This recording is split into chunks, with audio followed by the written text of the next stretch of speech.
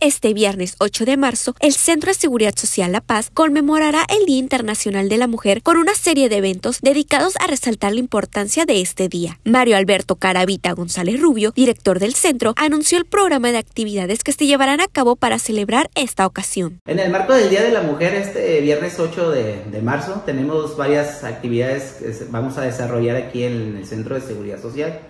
Primero que nada vamos a tener un, un torneo interno de cachibol eh, a, las, 7 de la mañana aquí en la, en la explanada del Centro de Seguridad Social.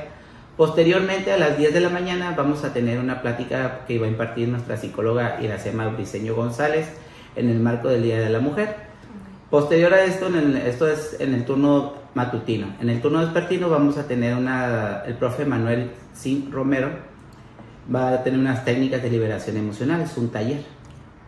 Y este, tendremos para el público en general, es, aquí en la explanada del Centro de Seguridad, eh, una activación física. Esto es abierto para todos los derechohabientes y no derechohabientes que deseen participar en, esta, en esta actividad, sumando como parte preventiva de la salud para que tengan una vida más activa y saludable.